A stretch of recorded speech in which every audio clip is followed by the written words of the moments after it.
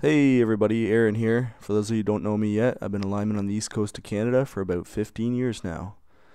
I have a quick video for you here to remind you all of one of the biggest hazards we can face while trying to restore power to you and your loved ones, and that hazard would be traffic.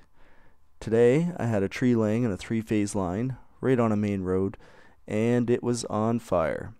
So, I decided to set up my boom truck on the side of the road in order to kill the power to the lines by opening three switches while using a load busting device.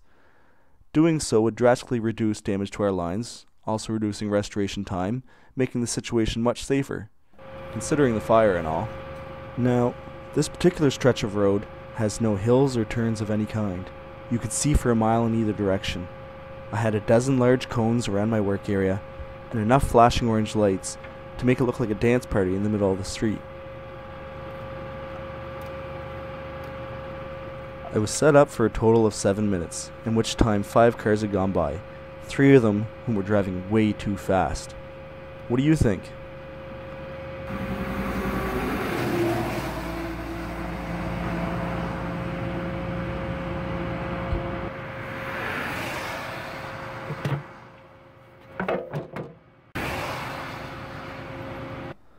Now, before anybody comments on the lack of flaggers for this task, I would like to note that our company has a very strict traffic control policy. In it, there is a clause in which we are allowed to set up on the road for 15 minutes in order to safely isolate the lines, providing there are no blind hills or turns.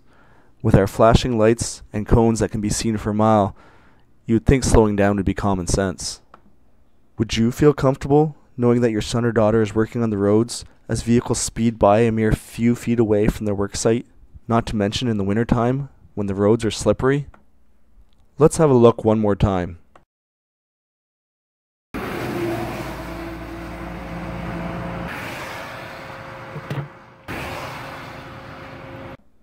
It only takes a moment of your time to slow down. We've had a few workers struck in my city now already. One of them unfortunately didn't make it. Please be respectful and slow down while passing through a work site or passing through any abnormal situations you may encounter. We'd all like to go home in one piece to our loved ones. I'd love to hear your thoughts in the comments below.